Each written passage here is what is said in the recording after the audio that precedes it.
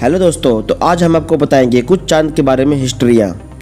चाँद की ओर वैज्ञानिकों का रुझाव हमेशा से रहा है।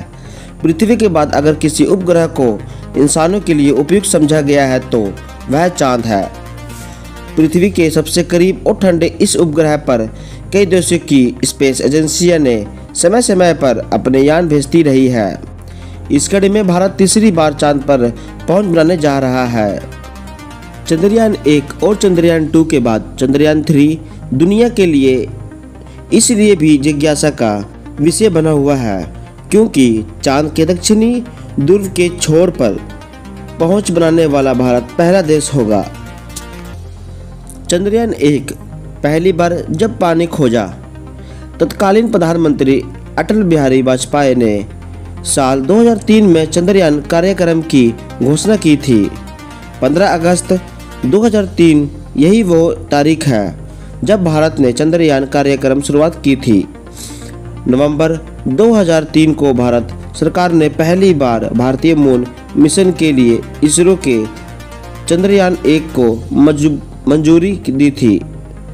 इसके करीब पाँच साल बाद भारत ने 22 अक्टूबर 2008 को श्रीहरिकोटा के सतीश धवन अंतरिक्ष केंद्र से चंद्रयान मिशन लॉन्च किया।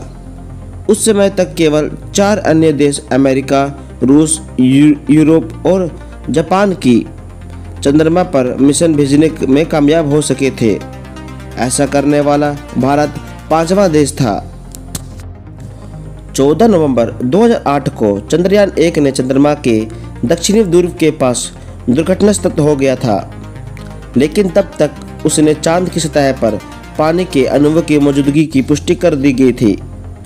चंद्रयान एक का डाटा इस्तेमाल करके चाँद पर बर्फ़ की पुष्टि कर ली गई थी। 28 अगस्त 2009 को इसरो इसरो के अनुसार चंद्रयान एक कार्यक्रम की समाप्ति कर दी थी, लेकिन यह शुरुआत भर थी। भारत जल्द ही फिर से चाँद पर तिरंगा फहराने का मन बना चुका था। 22 सितंबर 2019 को दो बज के तिरतालीस मिनट पर भारत ने चाँद की ओर अपना दूसरा कदम बढ़ाया। सतीश धवन अंतरिक्ष केंद्र H D S C Sriharikota से G S L V mark, M one द्वारा चंद्रयान टू लॉन्च किया गया। 20 अगस्त को चंद्रयान टू अंतरिक्ष अंतरिक्ष यान चाँद की कक्षा में प्रवेश कर गया। इस मिशन का पहला मकसद चाँद की सतह पर सुरक्षित उतरना और फिर से चाँद की सतह पर रोबोट रोवर संचालित करना था। लेकिन 2 सितंबर को चाँद की ध्रुव कक्षा में चाँद का चक्कर लगाने समय लैंडर विक्रम अलग हो गया और सतह से 2.1 किलोमीटर की ऊंचाई पर लैंडर का स्पेस सेंटर से संपर्क टूट गया। चंद्रयान टू 2019 में चाँद की सतह पर सुरक्षित उतरने में विफल रहा था। तब इसरो कंट्रोल रूम में मौजूद प्रधानमंत्री नरेंद्र मोदी ने कहा था कि इसरो पहले समझने की कोशिश करेगा कि क्या हुआ है। उसके बाद अगले कदम पर फैसला करेगा और अब इसरो तीसरी बार चाँद पर कदम रखने जा रहा है। भारत का तीसरा मून मिशन, यानी चंद्रयान थ्री। आज 23 अगस्त 2023 शाम साढ़े पाँच बजे से साढ़े छः बजे के बीच चंद्रमा की सतह पर लैंड करेगा।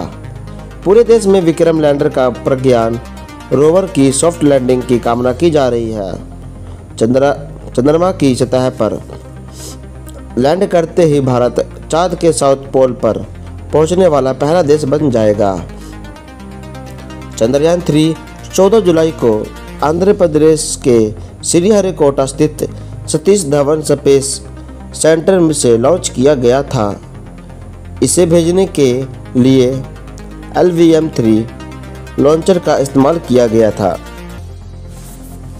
दक्षिणी ध्रुव के पास का तापमान अधिकतम 100 डिग्री 100 डिग्री सेल्सियस से ऊपर और न्यूनतम माइनस डिग्री सेल्सियस से अधिक हो सकता है। वहाँ मौजूद पानी ठोस रूप में यानी बर्फ़ की शक्ल में मिलेगा।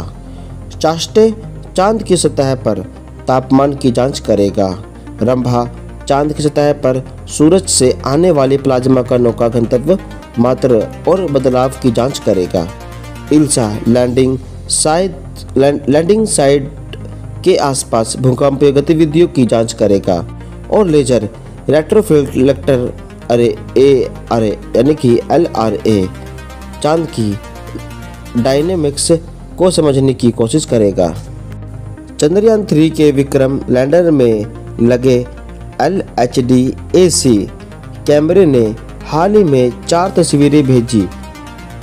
जिनमें कई बड़े गड्ढे तो कहीं मैदान एरिया नज़र आ रहे हैं। वहाँ ज़्यादातर ज़मीन उबड़ खबड़ नज़र आ रही है। बता दें कि उन्नीस से 2023 तक भारत, अमेरिका, रूस, जापान, यूरोपीय संघ चीन और इसराइल ने कई तरह के मिशन चाँद पर भेजे हैं। लगभग सात दशकों में 111 मिशन भेजे गए हैं, जिनमें छियासठ सफल हुए, इक्यालीस फेल हुए और आठ को आंशिक सफलता मिली। भारत चंद्रयान थ्री के बाद जल्द ही चंद्रयान फोर की तैयारी शुरू करेगा। दोस्तों, आपको यह जानकारी जानकर कैसी लगी, हमें कमेंट में ज़रूर बताइएगा। अगर दोस्तों, आपको मेरी बात थोड़ी बहुत समझ में नहीं आई होगी तो कमेंट में ज़रूर लिखिएगा। अगली बार से हम वीडियो में आपको क्लियर आवाज़ में वॉइस करके बता देंगे।